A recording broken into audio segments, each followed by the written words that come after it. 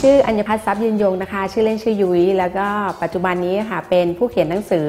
ไม่ต้องไฮโซก็ลงทุนคอนโดได้เล่มแรกนะคะ แล้วก็เล่ม 2 ก็มีลุยคอนโด ไม่ต้องมีเงินก้อนโตก็ได้ค่ะ ปัจจุบันก็ยังเป็นพนักงานประจำทำงานประจำอยู่ค่ะสำหรับปัจจุบันนี้นะคะการลงทุนในอสังหาริมทรัพย์เนี่ยไม่ว่าจะเป็นคอนโดหรือบ้านปัจจุบันเนี้ยล้นตลาดหลาย ๆ คนจะบอกว่าล้นตลาดจริงไหมจะถามว่าล้นตลาดจริงไหมเนี่ยจริง ก็คือมีคอนโดที่ล้นตลาด คือมีคอนโดเพิ่มมากขึ้น แต่อย่าลืมว่าปัจจุบันเนี้ยก็จะมีคนเพิ่มมากขึ้นด้วยเช่นกัน ทีนี้คำว่าที่เขาบอกว่าล้นตลาดเนี่ยมันก็หมายความว่า คือผลิตขึ้นมาแล้วไม่มีคนซื้อ แต่จริง ๆ แล้วเนี่ยคนซื้อเต็มหมดทุกทุกที่เลยนะคะ สาเหตุหนึ่งนะคะที่ทำให้คนทั่วทั่วไป คิดว่าการลงทุนคอนโดจะต้องใช้เงินเยอะ เนื่องมาจากคนเราเนี่ยค่ะเมื่ออดีตเนี่ยเราติดภาพกับอดีต เมื่ออดีตใครมีคอนโดเนี่ยจะต้อง คอนโดหลักล้าน หลัก 2 ล้าน หรือ 3 ล้าน คนจะติดกับภาพนั้นนะคะว่าเอ้ยสมัยก่อนอยู่คอนโดต้องหรูหราฟู่ฟ้า แต่จริง ๆ แล้วในความเป็นจริงคอนโดหลักแสนมีค่ะคอนโด2 0 0แสนมีคอนโด3 0 0แสนห้าแสนนี่มี เพราะฉะนั้นเนี่ย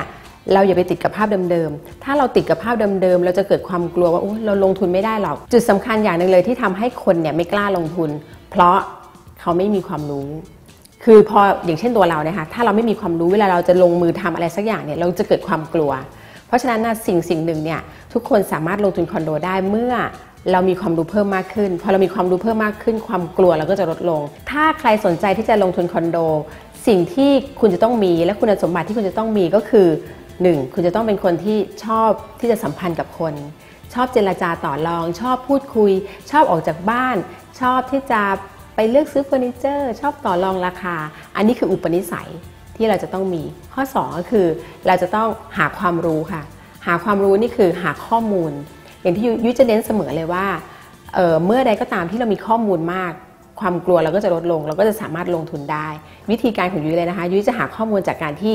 search อินเทอร์เน็ตก่อน เช่น หาข้อมูลสมมติยุ้ยจะลงลงทุนคอนโด ในราคาที่ต่ำกว่าล้าน สมมติราคาไม่เกิน 1 ล้าน เราก็ search ข้อมูลก่อนว่าคอนโดราคา ไม่เกิน 1 ล้านมีที่ไหนบ้าง หาข้อมูลในอินเทอร์เน็ตก่อนค่ะ เสร็จปุ๊บออกไปหาข้อมูลสถานที่จริง การออกไปหาข้อมูลสถานที่จริง ก็คือไปเจอไปเจอใครล่ะ ไปเจอคนที่อยู่ที่ตึกนั้น ไปสอบถามนิติ ไปสอบถามพ่อค้าแม่ค้าที่อยู่ในนั้น มีร้านค้าหลาย ๆ ร้าน ไปถามยามอะไรอย่างเงี้ยค่ะ หาข้อมูลจากข้อมูลจริง จริง ๆ เนี่ยไอดอลในการที่ทำให้ยุ้ยเนี่ยเริ่มลงทุนเนี่ยคือคุณพ่อคุณแม่ เพราะว่าคือเป็นไอดอลแล้วเป็นคนที่จุดประกาย เนื่องจากว่าท่านเป็นข้าราชการบำนาญหลายคนจะแบบจุดประกายเรายังไง คือท่านเป็นข้าราชการบำนาญเราก็มีมองท่านแล้วเรารู้สึกว่า เอ้ยท่านเกษียณท่านมีเงินทุกเดือน แล้วเราล่ะ เราเป็นแค่ลูกจ้างทั่วไป เป็นพนักงานออฟฟิศถ้าเราเกษียณแล้วเราจะเอาเงินที่ไหนใช้ อันนี้เป็นจุดประกายจุดหนึ่งเลย เรารู้สึกว่าไม่ได้แล้ว เราอยู่เฉยไม่ได้แล้วตอนนี้ เป้าหมายสูงสุดก็คือ อยากที่จะมีอิสรภาพทางด้านการเงิน ซึ่งคำว่าอิสรภาพทางด้านการเงินเนี่ย ปัจจุบันเนี่ยค่ะเป็นคำที่ยุ้ยเชื่อว่าหลาย ๆ คนน่ะค้นหาอยู่เหมือนกัน การมีอิสรภาพทางด้านการเงินก็คือ มีทั้งเวลาแล้วก็มีทั้งเงิน และได้ทำงานในสิ่งที่ตัวเองรัก ตัวยุ้ยเองก็มีหนังสือเล่มโปรดของตัวเองเหมือนกัน แต่ว่าบางคนอาจจะคิดว่าอุ้ยยุ้ยลงทุนในอสังหาริมทรัพย์เนี่ยจะต้องมีหนังสืออสังหาริมทรัพย์เยอะแยะมากมาย แต่จริงๆแล้วค่ะยุ้ยอยากจะบอกว่าจุดเริ่มต้นของการที่จะลงทุนหรือการที่จะทำอะไรก็แล้วแต่อยู่ที่ความคิด เพราะฉะนั้นหนังสือเล่มโปรดเนี่ยจะเป็นหนังสือที่เกี่ยวกับ mindset การปรับ mindset การปรับความคิดนะคะ หนังสือเล่มแรกที่อยากจะแนะนำให้กับมนุษย์เงินเดือน หรือว่าน้องๆที่เพิ่งเริ่มทำงานได้อ่านนะคะ ก็จะเป็นหนังสือของคุณโรเบิร์ตคิโยสกิเนี่ยค่ะจะเป็นเรื่องเงินสี่ด้าน อันนี้จะทำให้เรารู้ว่างานมีกี่ประเภทนะคะ แล้วก็มีถอดรหัสถอดรหัสลับสมองเงินล้านนะคะ อันนี้ก็เป็นเรื่องที่เราจะรู้ว่าคนสำเร็จคนรวยเขาคิดยังไง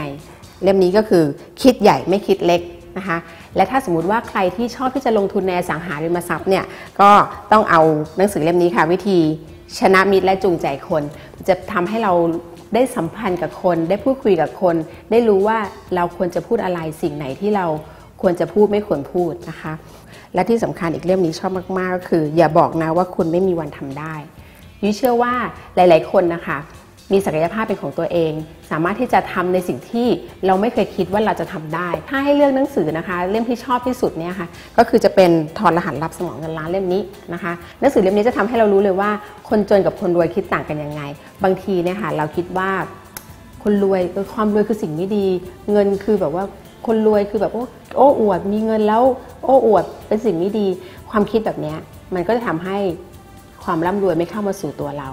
ราะฉะนั้นเนี่ยหนังสือเล่มนี้ค่ะเขาจะแบ่งแยกเลยพอเราอ่านเสร็จแล้วอ๋อเราจะได้ความคิดที่แบบอีกแบบหนึ่งแล้วเราลองทำตามหนังสือยุ้ยเชื่อว่าหลาย ๆ ท่านจะมี mindset ที่ดีขึ้นแต่จะบอกว่าจริง ๆ แล้วเนี่ยค่ะจุดเริ่มต้นของคนที่ไม่ประสบความสำเร็จคือความกลัว เมื่อใดก็ตามที่เรามีความกลัวมากนะคะ เราก็จะไม่กล้าที่จะลงทุน เพราะฉะนั้นเราจะแก้ความกลัวนี้ยังไง การที่จะแก้ความกลัวคือเราต้องมีความรู้มาก ๆ ค่ะ ตอนนี้อยากให้ทุกท่านนะคะ ไขว่คว้าหาความรู้ให้มากขึ้น เมื่อใดก็ตามที่เรามีความรู้มากขึ้น ไม่ว่าจะเป็นเรื่องการลงทุนในหุ้นหรือคอนโดนะคะ คุณจะมีความมั่นใจมากขึ้น และความกลัวนั้นก็จะหมดลงไปค่ะ